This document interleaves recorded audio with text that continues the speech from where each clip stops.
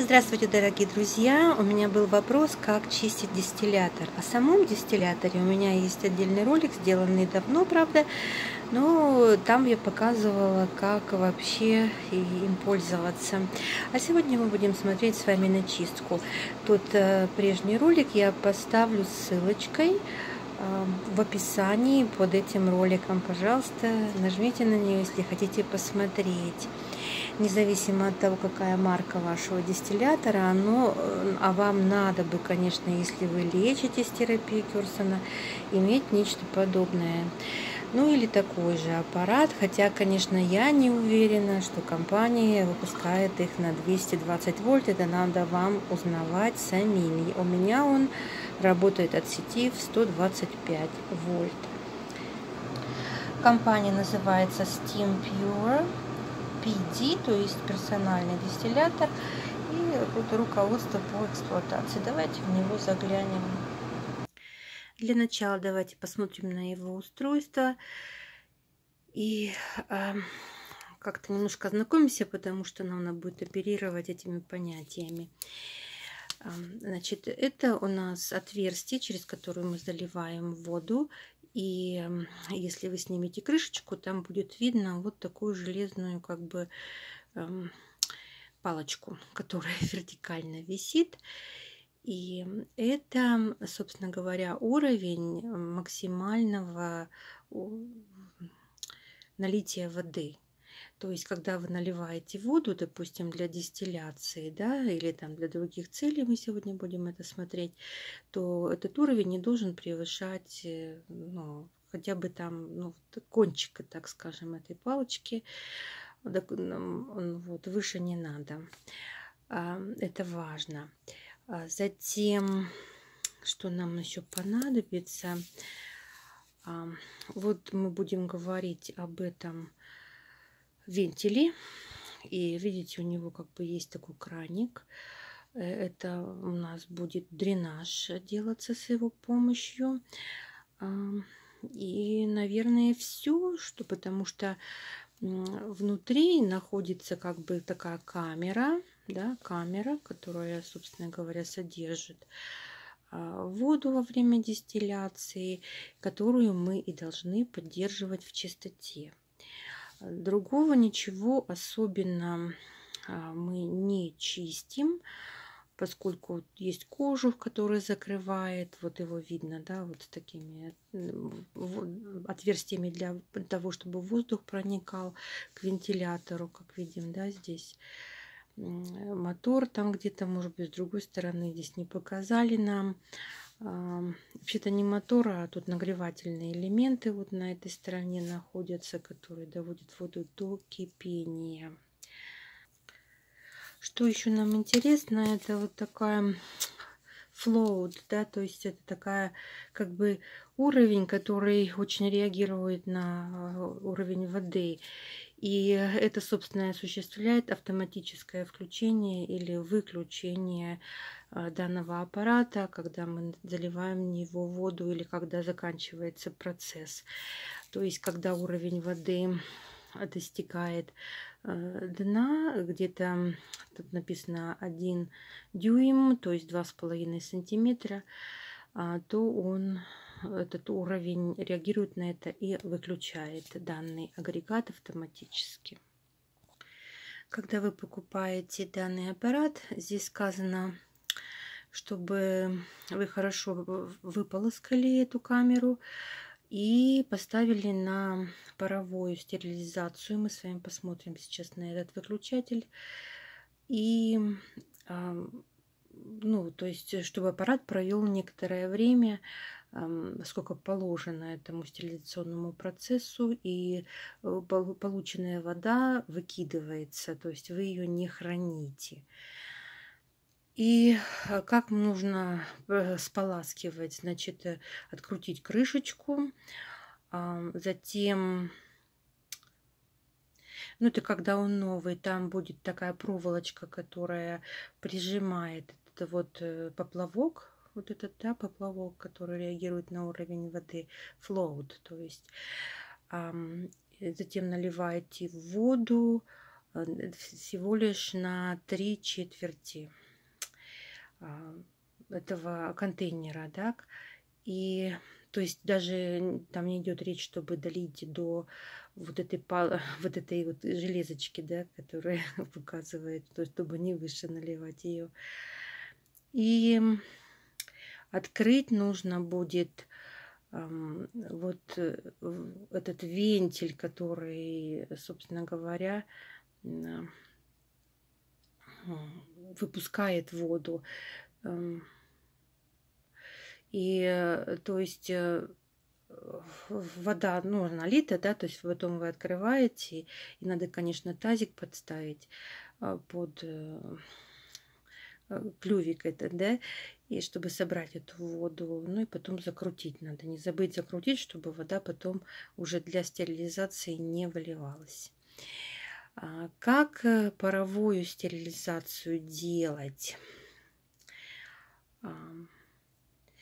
Значит, в этот момент нужно будет э, снимать фильтр. Фильтр снимается легко, мы на него взглянем сейчас тоже там попозже. Значит, набираете вы э, в контейнер, в котором вода кипятится, наполняете его водой из-под крана, говорится, из-под крана. И а, закручиваете крышку обязательно. Ее не надо закручивать зверски плотно, но все-таки плотно. Значит, подключить провод, то есть включить его в розетку и нажать на включатель, а, то есть включить, включить. Затем а, нужно будет нажать на кнопочку стерилизация и стерилизовать один час. Один час, то есть вы замечаете время. Также для, когда вы стерилизуете, поскольку фильтр убран, вот это вот просто э, то место, куда на что надевается фильтр, но оно открытое и с него может капать э, ну, кон, значит, пар, который конденсируется в виде капелек воды, значит, нужно в это место поставить какую-то чашечку. А, значит, вот это мы помним, да, вот этот, чем мы откручиваем, когда нам нужно сцедить э, все то, что в этом контейнере, контейнере находится. После одного часа выключить выключатель в положении выключено. Off это выключено. И надо, чтобы аппарат остывал минимально 15 минут. Когда он остынет, э, можно будет вставить этот самый фильтр, э, как на странице 7 указано. Это вот здесь вот указано. То есть вот так у нас наверное, shoulder, call. Я не знаю, это он, не оно фигура это. Сейчас я почитаю. Нет, это вот эта картинка у нас показывает. Значит, э, вот здесь вот это торчит, да? То есть э, тут есть такая-то пластиковая такая сначала переходник, он надевается, а на него уже сам фильтр. Мы на него тоже с вами взглянем. То есть в этой части. И нужна, конечно, будет баночка, но у нас две баночки. Я поясню, почему две чуть позже. Давайте взглянем на выключатель. Вот это вот в положении включено, это выключено. Вот положение вентилятор, да, а, а если стерилизация, вот она. Стерилизация сейчас не нажата, поскольку идет процесс дистилляции. На дистилляцию мы нажимаем на, э, на вентилятор и именно очищение. Тут два положения всего, туда-сюда. Ну и вот посмотрите на фильтр, да, то есть вот этот штырь, который торчал, на него такой вот переходник, и уже сам фильтр на него надевается. В самом фильтре вот это черное, это активированный уголь. Мой муж сейчас перестал, уже давно перестал покупать фильтры с компании, потому что они дорогие. И вот то, что у нас есть, он просто сам заправляет, купил активированный уголь, и вот на этот уровень он заправляет активированным углем, экономя на этом деньги. Вот вам может какая-то подсказочка. Ну, а теперь посмотрим на глобальную чистку. И здесь сразу вам говорят, что все зависит от того, какая вода бежит из ваших кранов, насколько она грязна. То есть э, здесь даются какие-то усредненные рекомендации, а вы уже можете их варьировать, извините, а, от вашего состояния воды. А, ну, итак, значит, эм, что мы будем делать как чистку?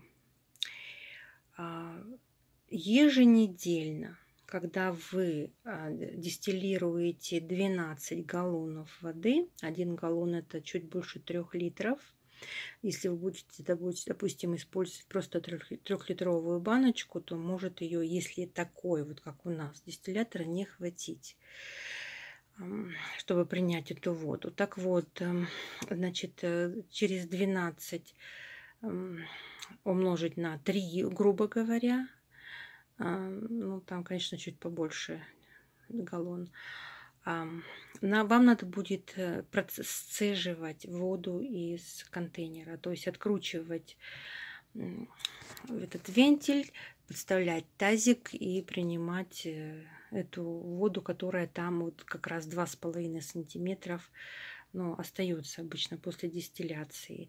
То есть э, это надо делать э, еженедельно. Ну, 12 колонов вы явно будете делать. Мы э, делали долгие, ну как, несколько лет, делали 3 галлона, 2 днем и третий ночью. Но сейчас мы ночью не делаем, потому что мы стали спать внизу из-за пятерки из пятой из, из, из-за пятой башни, которая излучает все на нас. Вот, потому что здесь э, тестер, тестер показывает как более безопасное место в подвале, где у нас как раз и стоит этот дистиллятор. Поэтому мы делаем всего два галлона за сутки. Ну и в принципе нам хватает. Иногда бывает немножко в напряг, но у нас всегда есть еще реверс осмосис вода, и мы как-то вот варьируем эти два вида очистки, так скажем. Реверс осмосис мы покупаем из магазина. А там есть аппараты такие, где можно наполнить свою большую бутылку.